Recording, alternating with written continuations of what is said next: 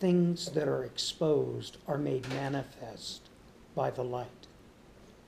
For whatever makes manifest is light. Therefore, he says, Awake, you who sleep, arise from the dead, and Christ will give you light. Somebody who's really born again, they will change. It'll take a while. Some things will be immediate, some things will be a process, but things change. See then that you walk circumspectly, not as fools, but as wise. The scripture says that someone who says there is no God is a fool. It says it directly. He says here, don't walk like a fool. We say, how do people walk like a fool? People who take the scripture, people who take the scripture and treat it like it's a smorgasbord, you know, like a buffet line, and they say, well, I'll believe that because that suits me. But I won't believe this. I mean, I have my own feelings about that. Friends, that's a fool. The scripture admonishes, admonishes us to live by the whole counsel of God. You know, you've really started to arrive when you don't need a reason to believe what God says. When you can earnestly say, God said it, it's good enough for me.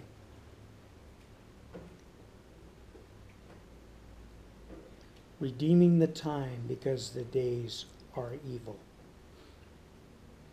Therefore, do not be unwise, but understand what the will of the Lord is. God wants you to know His will for your life. And do not be drunk with wine, which is dissipation, but be filled with the Spirit. Now, why would he compare being filled with the Spirit with being drunk? You would think that those are 180 degrees out from each other. Here's the connection those that make wine their absolute and immediate go to thing when there's trouble to the point of being sloppy drunk are searching for something. They're searching for an alteration in reality. They're searching for a change that makes them feel better. They're looking for that. And what he's saying here is this isn't a statement against alcohol. This is saying that if you have to use something that alters your perception of reality, you actually need to do something that is going to edify you and it's going to bring honor to God. Because when the Spirit of God is active in your life, you'll find all the things that you were looking for in a bottle or in a needle in your arm.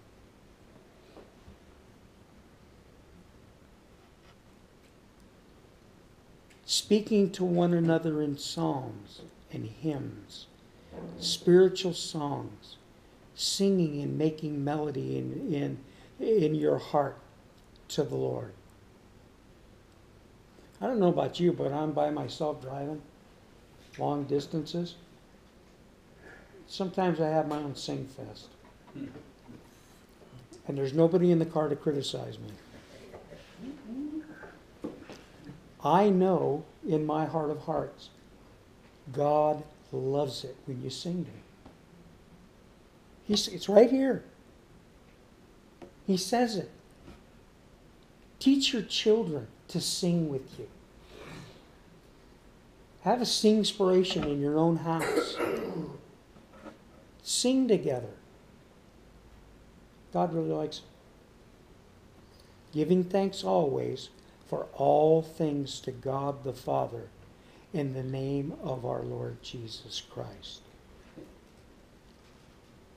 If your attitude is adjusted and you are thinking like God, then you will believe what the word says when it says, all things work together for good to them that love the Lord and are called according to his purpose. If you sincerely believe that, if that portion of God's word is a reality to you, and you say, God said it, it's true. Nothing that comes down the pipe in your life will ever be seen as something that happened to you without God's permission.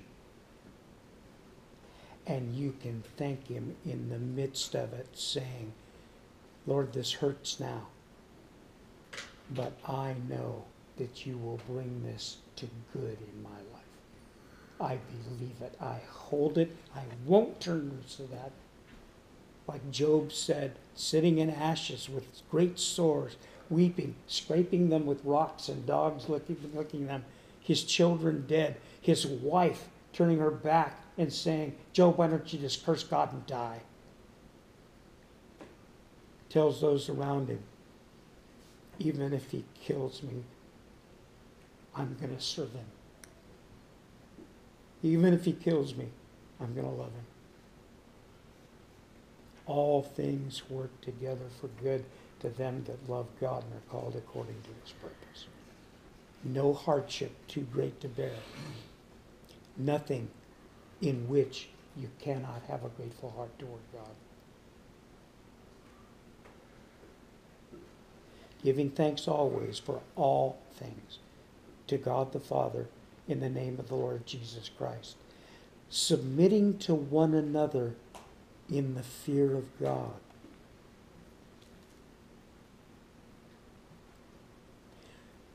Um, nobody knows you better than your spouse. So I've sworn mine to secrecy. I thought we weren't supposed to swear. Come see me afterward. In the meantime, sit in the corner. Okay.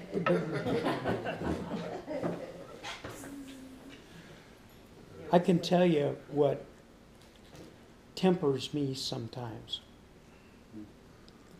And it tempers me oftentimes in my dealings with other people that I know are believers. It came as a huge epiphany to me many, many, many years ago that my wife was not just my wife. She was the daughter of the king. It is unwise to mistreat God's daughter. It is not wise. And then that was the first epiphany. The next one is when he said to me, You know what I told you about your wife? Almost everybody sitting in the pews, they're my kids too. It tempered a lot of things in my life as a pastor. I would be very careful about walking in to a king's palace. And even if I was right, disrespectfully shaking my finger in one of the prince's or princess's face. King might not take well to that. But in earnestness, in love, speak the truth. And to do so as best I could to defend their dignity and to do it quietly and alone.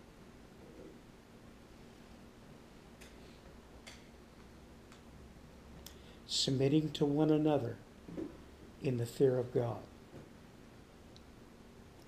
Now, guys, this next one takes a little explanation. Submitting our wives. How many wives we have in here? Amen. Wives, submit to your own husbands as to the Lord. Unfortunately, in some places, this has been horribly perverted. You cannot have the first part of this verse without an understanding of the second part. Wives, submit your, to your own husbands, first part, as to the Lord, second part.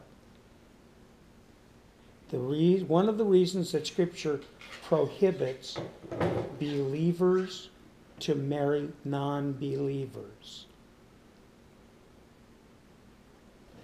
is because in that kind of covenant relationship, a wife can't submit to a non believing husband.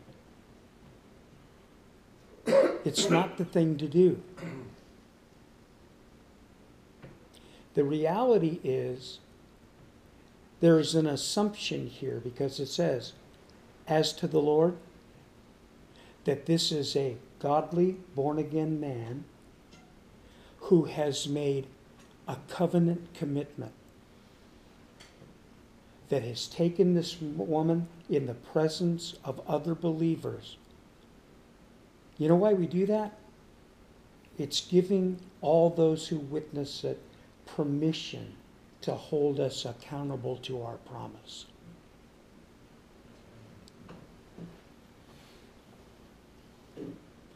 Now, this has been used as an abuse from time to time, where women have been beaten by non believing husbands, have gone for counsel, and the counsel that they were given in church was you, well, you need to stay right there. You need to continue to allow them to beat you. And I am here to tell you that that is not in the Lord. If you find yourself in an abusive situation, ladies, walk out of that thing until you can get something resolved. I tell you, children, if your parents are compelling you to do things you know are ungodly, get out and get some help. Submission is conditioned on the other party being godly. Now, I know that there's teaching out there that says, well, you'll win your husband or your wife. There are limits. Submission isn't because a woman is less. A captain, a ship can't have two captains. And basically, the first officer on the ship is perfectly capable of operating the ship. In fact, the reason the first officer is there is to be able to take command if something happens to the captain. It's not an issue of qualification.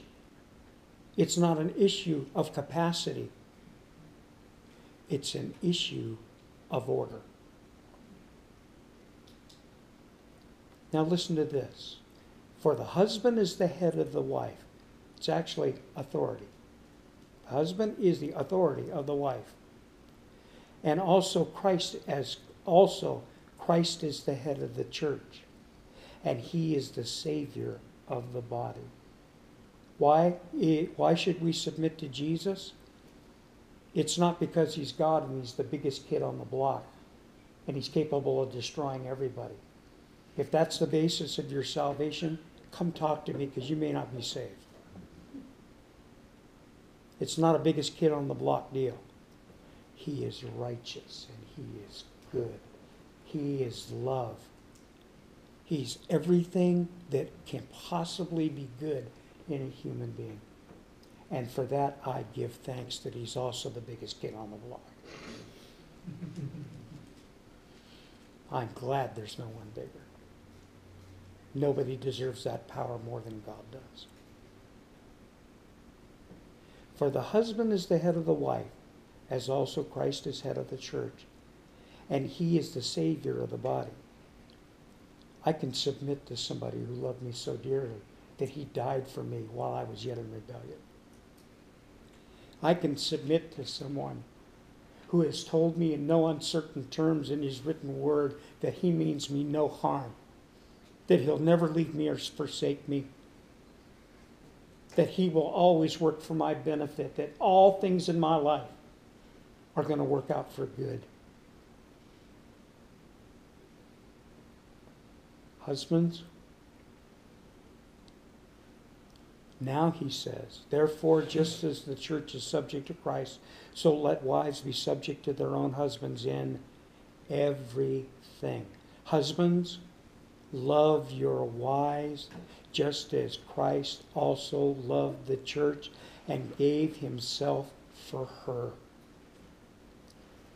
Men and women are psychologically different. That's a fact. The world has tried to propagate a lie that there's absolutely no difference except, except anatomically. That is a lie. There are differences. A basic motivation that God has placed in women is a desire and a need for security. That's one of the big differences sexually between men and women. For men, the risk of a pregnancy, it costs men very little. For women, the commitment is huge. Two entirely different ideas. Because there is such a potential for all that a woman has to give to a family relationship, she should be careful to ensure that that relationship is cemented by a commitment from a man whose life philosophy has come from someone who knows something about commitment. And that's God. Now, remember we talked about the idea that there are limits to submission? Husbands, do you want your wife to love you? Then exemplify the kind of commitment and attention that Jesus gave to you in salvation. Someone talks bad about your wife, they need to be in fear of how you're going to respond. I had a I had a conversation uh, once with a young man many years ago who decided he was going to scream at his mom. And that was the first time our relationship changed slightly. Because it was the first time he ever heard me say, She may be your mother, but she's my wife. And you need to know it. And nobody attacks my wife.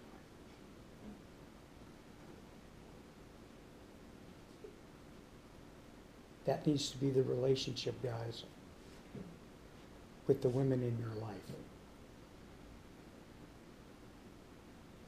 That's the relationship that Jesus had. And when the enemy of our soul tried to rip us from the hand of God, he stood up and said, even if it cost me my life, I will not let my bride go.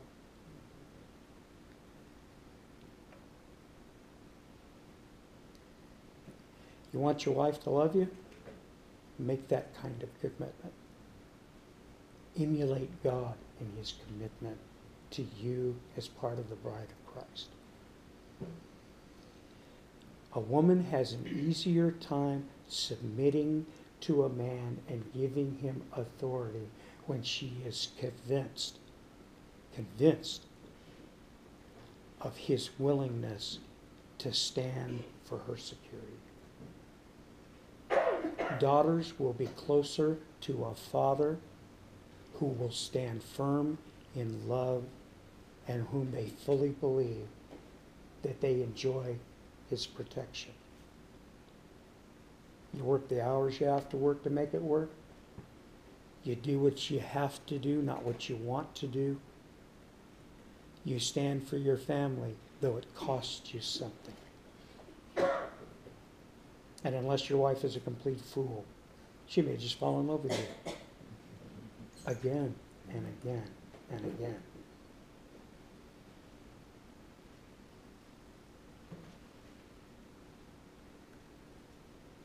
Husbands, love your wives, just as Christ also loved the church and gave himself for her, that he might sanctify and cleanse her with the washing of water by the word, that he might present her to himself a glorious church, not having spot or wrinkle or any such thing, but that she should be holy and without blemish. You know what? Love your wife deeply, she may actually change. So husbands ought to love their own wives as their own bodies. He who loves his wife loves himself. Uh, we have a modern saying that goes somewhere along that line. When mama's not happy, nobody's happy. You want to be happy? Love your wife, make her happy. For we are members of his body, of his flesh, and of his bones. For this reason, a man shall leave his father and his mother, and be joined to his wife, and the two shall become one flesh. Oh, that came from the first wedding ceremony, remember? That's when Adam and Eve were joined together. The difficulty with our society today is they don't follow this pattern. For this reason, a man shall leave his father and mother and be joined to his wife. That's leave and cleave. The Problem in our society is it's become acceptable to cleave and leave. The commitment needs to be unbounded. This is the great mystery, but I speak concerning Christ and the church. In other words, everything I'm telling you guys about the way you should treat your wife is the way I treat you as part of the church. Now copy me and treat her the same way. Nevertheless, let each one of you in particular so love his own wife as himself, and let the wife see that she respects her husband. Guys, if you love your wife like that, she will come to respect you. Wives, if you show due respect to your husband, you will draw him in. He will come to love you like he's never loved you before. Oh, Father, we thank you for your word today. Lord God, please help us not to touch that stove. Please help us to be like you. Father, please help us just to be a chip off the old block. And we thank you for it in Jesus' name. Amen.